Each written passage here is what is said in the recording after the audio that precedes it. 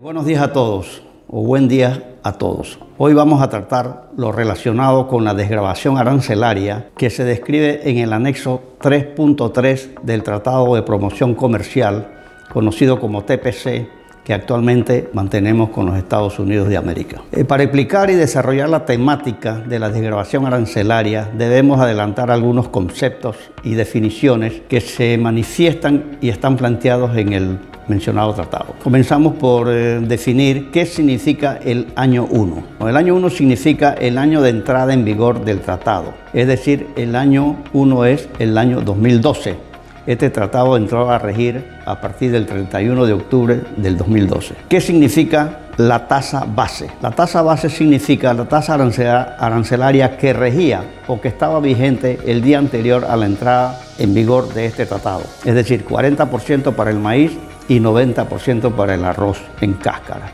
Estos porcentajes se aplican sobre el valor CIF, costos, seguro y flete. El valor CIF de la mercancía, en este caso del maíz y del arroz costo, seguro y flete. ¿Qué es desgrabación arancelaria? La desgrabación arancelaria significa la eliminación gradual o en etapas anuales iguales de los aranceles a las mercancías a partir de la fecha de entrada en vigor del tratado.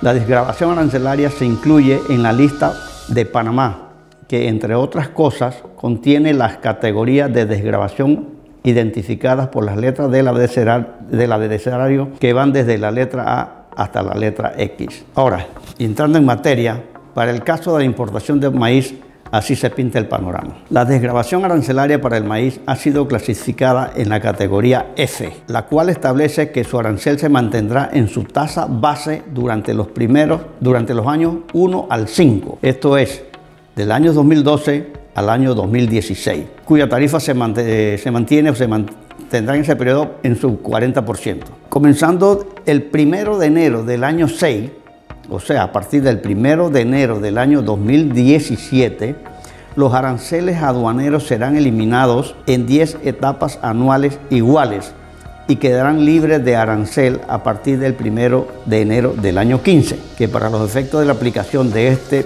TPC, el maíz entrará libre de impuesto de importación a partir del 1 de enero del 2026. Todo esto en el marco del Tratado TPC. Mientras tanto, y tomando en cuenta lo que indicamos anteriormente, que la tasa base, 40%, se eliminará en 10 etapas anuales iguales, o sea, 40 dividido entre 10, da como resultado una desgrabación anual de 4%.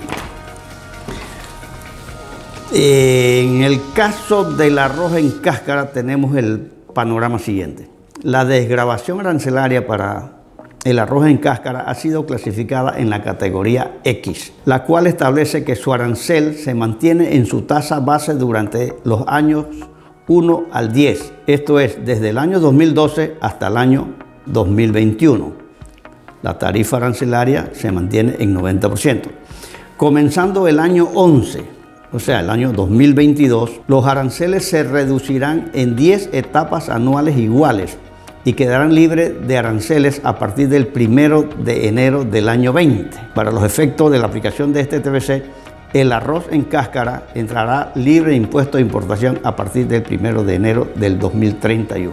Mientras tanto, y tomando en cuenta lo que indicamos anteriormente, que la tasa base, 90%, se eliminará en 10 etapas anuales iguales, 90 dividido entre 10, da como resultado una desgrabación anual del 9%. Todo lo anterior nos permite adjuntar la tabla que refleja el comportamiento de los aranceles aplicados y por aplicar para la importación de maíz y de arroz en cáscara conforme al tratado que hemos estado haciendo referencia. Posteriormente analizaremos y presentaremos la desgrabación de otros productos sensitivos como carne de cerdo, arroz descascarillado, arroz pilado, pollo y otros más en lo que inclusive destacaremos los productos que tienen nivel de la salvaguarda agrícola activada. Para cualquier consulta o aclaración o ampliación de este tema, nos pueden contactar al 227-5020, 227-0592, 227-2743, al celular 6612-2284 o también a nuestro correo